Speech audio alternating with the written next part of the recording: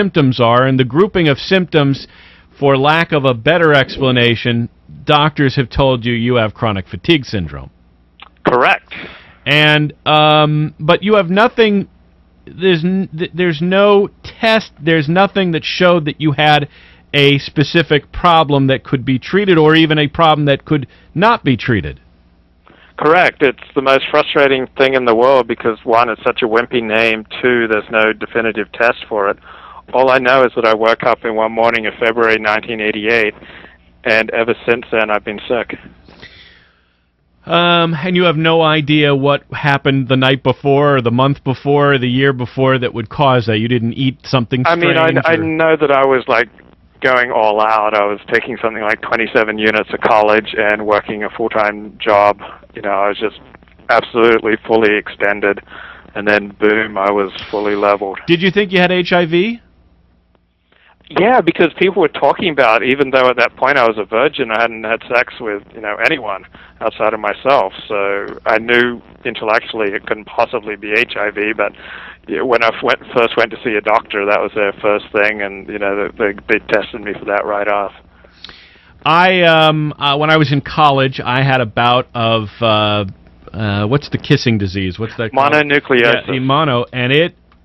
I mean, I thought I was going to die. I just I had no strength. I had no energy, and I I dragged myself to uh, Kaiser, which was the plan that I was under with my parents, and my mom met me at the Kaiser Hospital in Woodland Hills, and I couldn't sit up. I mean, I just had no strength, and the doctor came in and he was very rude to me and said, "What's what's wrong with you? Are you on drugs?" was the first thing he said to me. "Are you on drugs?" And I said, "No, I can barely swallow. I have no strength." And he said, "I'll be back in a few minutes," and slammed the door and walked out. And uh, I, I don't know. He must have thought that, oh, you know, college kid, and he must be on something, and that's why he's behaving this way. I was just, I was just in the worst kind of situation. He looked at my throat, and he saw that it was inflamed and red, and he saw that I could barely swallow, and he very quickly identified, you've got mononucleosis. Go home and get some bed rest, and you know, drink lots of fluids, and you'll be fine in a couple weeks. And sure enough, that's what it was. But I can't imagine that going on for months and months and years, which is what you've had. Yeah, and I'd had mononucleosis two years previous. So what happened to me again? Um, it it just seemed like a repetition of the mono, except for this time it didn't go away. Which was worse? Yeah, the you know the this this CFS is far worse because it didn't go away. hmm And I, I'm sure over the years you've done tons of research on the internet and read books and talked to doctors and anyone uh, who has any medical uh, understanding. You've probably had the conversation with. And over how many how many years are we talking about? 18 years? 22 Twenty years. Yeah, 20 years. Have you have you come any closer to any understanding about what it is you have? No. And and it manifests itself for you today, 20 years later, in what? It's just hard to get out of bed in the morning, or you're like Um, right now you feel Well, like remember, like after you'd had mono for about two or three weeks, you were just still weak. You know, even if you could kind of start to resume a normal life. So I'm just constantly battling with exhaustion. and that's so I, you know, I, I take naps uh, two or three times a day, not to sleep, but just to like regather my strength. hmm I'm sure you've talked to psychologists and psychiatrists that have probably theorized that maybe you're just depressed.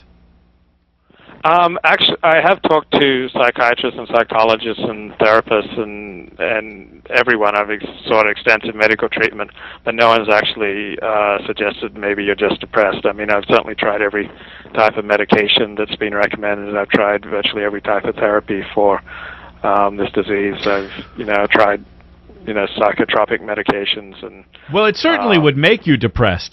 I mean, yes, it yeah. certainly is Yeah. depressing. So, yes. so uh, are are you a depressed person?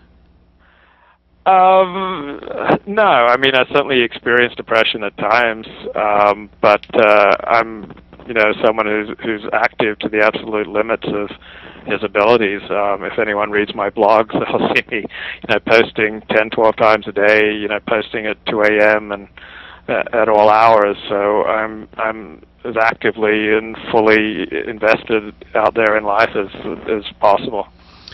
Uh, when I before I brought you on the air, I, I talked to you off the air, and I and I, uh, I said to you, "Is there anything you don't want to talk about?" And you said, "No, you you can ask me anything." And so I'm going to ask you a difficult question, and you can always say, "I don't care to answer that." But do you have a diagnosed mental illness?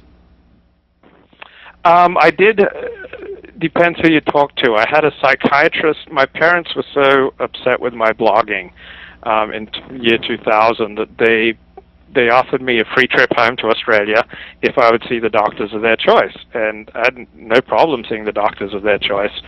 And I loved the free trip home to Australia. So I went back and I saw a psychiatrist uh, for three hours among other doctors, and the psychiatrist on the basis of those three hours diagnosed me with narcissistic personality disorder. and I don't mean I don't it- mean to laugh, but I I, mean you could say that about anyone who kind of likes what they're doing and likes uh, uh, has self interest, right? Maybe. So I took I took her diagnosis that she gave to my sister, and I put the whole thing on my website because I was you know, obviously that must be a narcissist. So it's like more attention for me. So um, I'm not sure whether I have NPD or not, but I certainly do have narcissistic personality tendencies, as do as you mentioned many uh, creative people and uncreative people. Um, and so that's that's the extent of your because uh, there's one video where you're you're uh, showing all the different drugs that you're taking, and one was lithium. That's a very powerful drug that's they don't give to people who have narcissistic personality disorders. Um, actually, they do, in that um, accompanying NPD is like you know histrionic. Uh, you know that's the tendency, and so um, while I'm I'm not bipolar, I do once again have some tendencies in that direction. I have you know fairly turbulent emotional life, um, not to the point where I you know ever do harm to myself or, or to anyone else in any sort of physical way, but you know I do go from elation to to despair, and so the the lithium uh, Evens will level that out. Mhm. Where are you now? Oh, I haven't taken any lithium for for months. So, um, so on the one hand, I do have a slightly more tur- uh, uh, more turbulent emotional life. Um, on the other hand, I'm free from the pretty significant side effects that that lithium brings. So, I mean, right now I'm pretty centered. Um, but overall, in the past two months, um, I feel like the world's coming down on my head because I was just thrown out of my fifth synagogue, and it was for something so ticky tacky. Um, but right before Rosh Hashanah, I got booted, and so that was like a very devastating blow that I, I'm still dealing with. It doesn't get easier. It does not get easier. I mean, I'd make it easier on myself if I simply stopped, you know, writing controversial articles. Uh huh. Um, and uh, what um, what do you go? Th- uh, do, do you try and plead your way back in, or once they say, you know, we want you out? How, first of all, how does that happen? They call you into the rabbi's office and they say, look, this. What you've done here, and the you're the talk of the community, and it's a distraction to the rest of the congregants. Or how, what's the conversation? Um, well, the latest time it was, you know, I'm going to suspend you for two weeks, you know, Rosh Hashanah through Yom Kippur, because I'm I'm so upset at this article you wrote. I think it was a very cruel article, and I want you to learn this lesson. Well, I then compounded my my error by loudly complaining about my expulsion on my blog, which you know may very well have gotten me permanently banned from from the synagogue. So, I, I never did pray to God that He make me a doormat for rabbis to walk over. Uh, you have very contentious relationships with rabbis. What do you suspect is the source of that?